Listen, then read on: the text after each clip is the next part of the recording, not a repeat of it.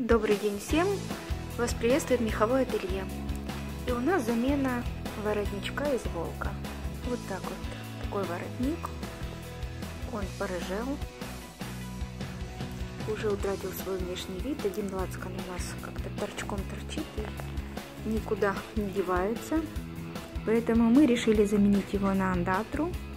Норочку не хотели менять. Это более дорогой мех.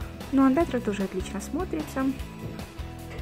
Заменим на андатровый. Так вот выглядит сейчас этот воротник